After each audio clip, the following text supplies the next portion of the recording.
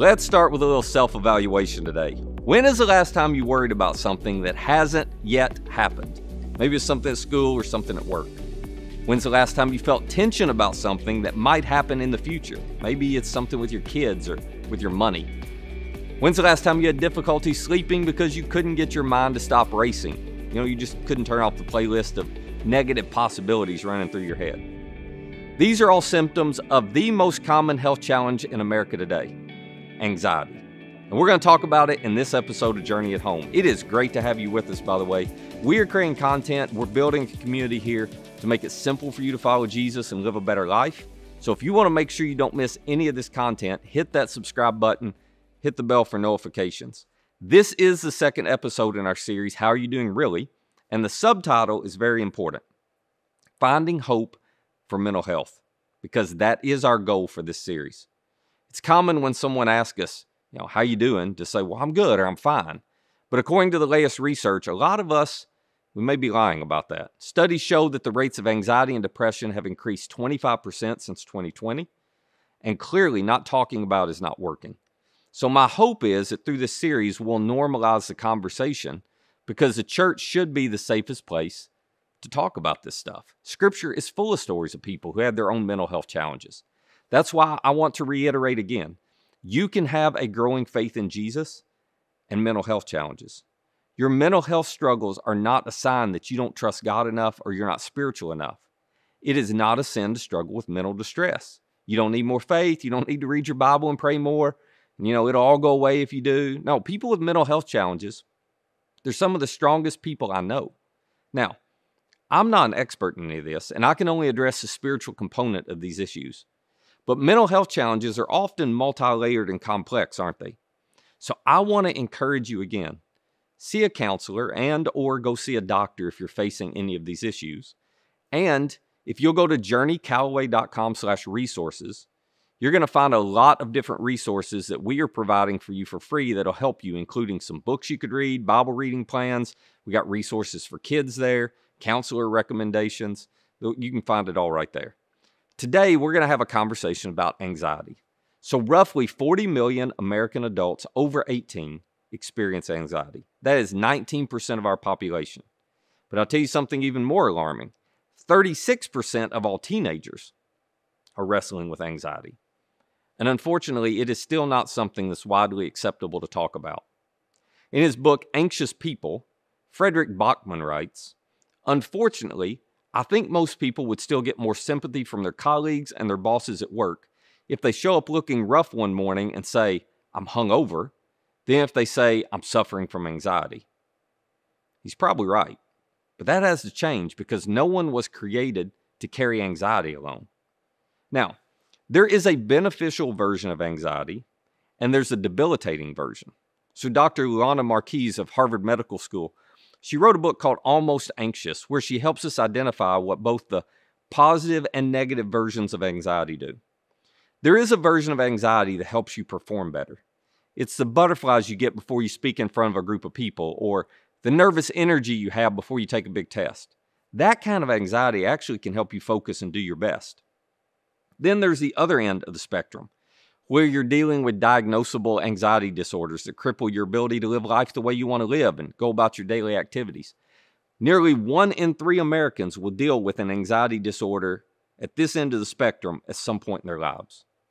But Dr. Marques also talks about this almost anxious region where anxiety is diminishing your ability to live life well, even though it hasn't developed into a disorder yet.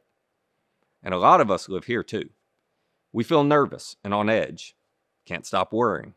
We have trouble relaxing, sitting still. We're easily annoyed. We're afraid something bad will happen in the future.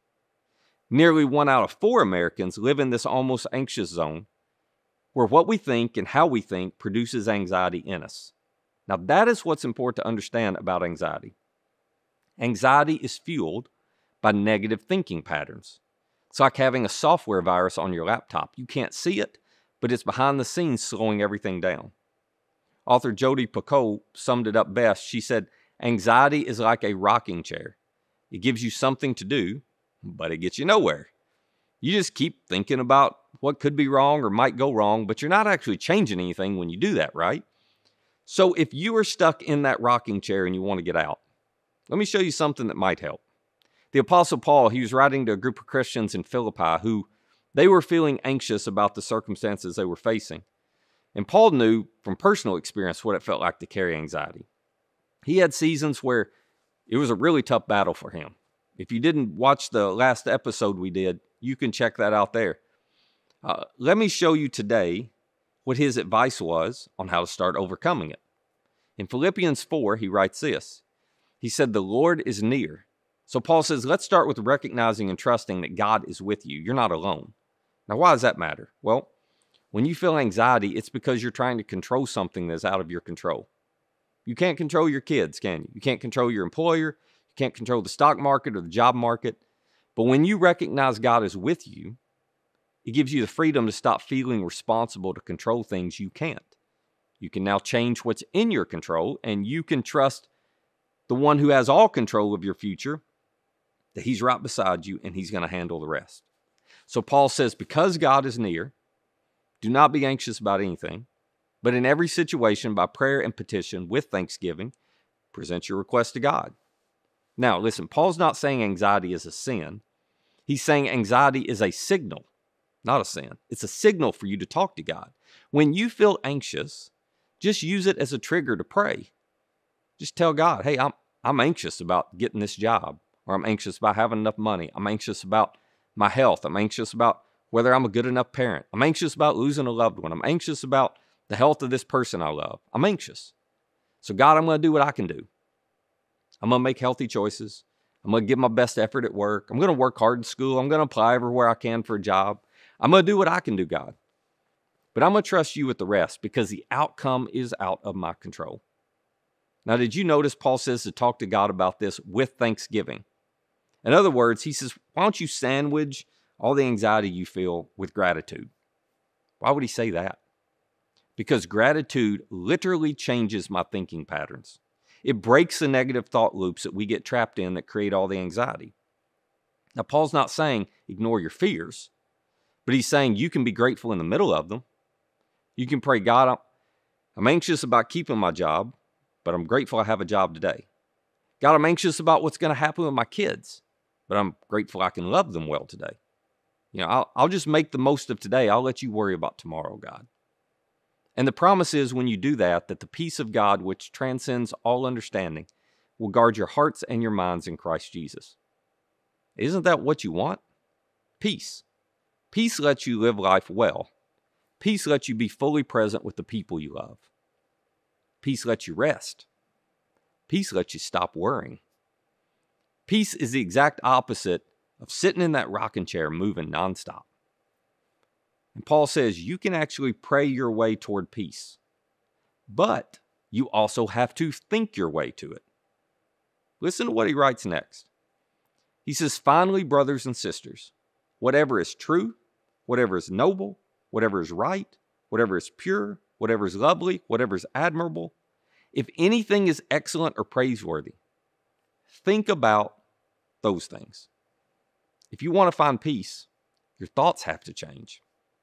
If you want to overcome anxiety, you got to be willing to pause and evaluate what you're thinking. And is it against this standard that Paul gives us? In other words, the thoughts I'm thinking right now, are they true? Are they right? Are they helpful? Are they healthy? Paul's going, anxiety is fueled by negative thought loops. So you got to break the pattern and you got to focus on the good, the positive, the true. You can't let lies dominate your thinking. This is really important to understand. Every thought you have doesn't come from you, and every thought you have doesn't come from God. You have an enemy who wants to diminish you. And one of the ways Satan does that is by introducing lies into your mind. For example, when you think, I can't tell anybody about my struggles, I got to keep quiet.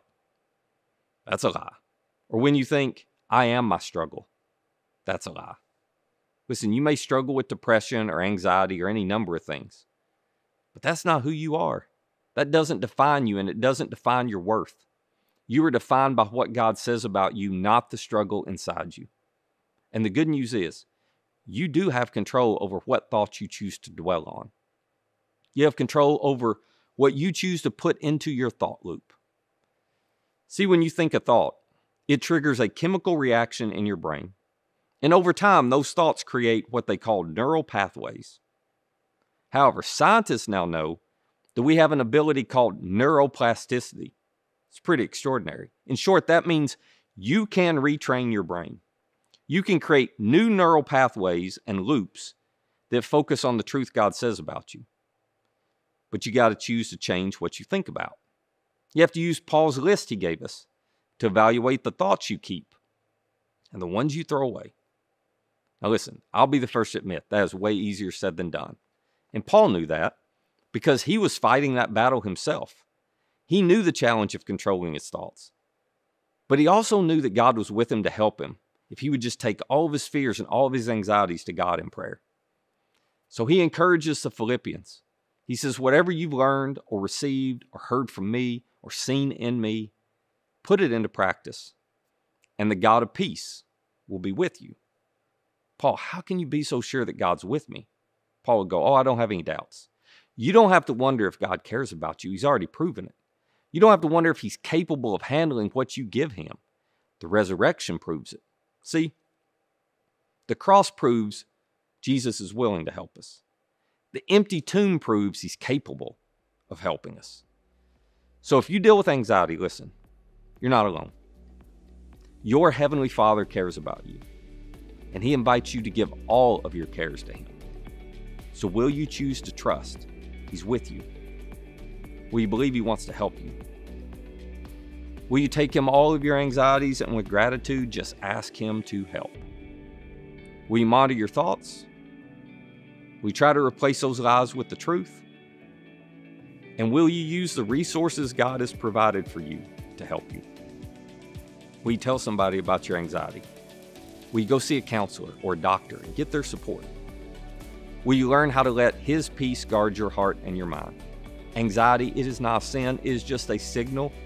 It's time to lean into God, to let go of trying to control things out of your control, and to trust Him to be with you in the future.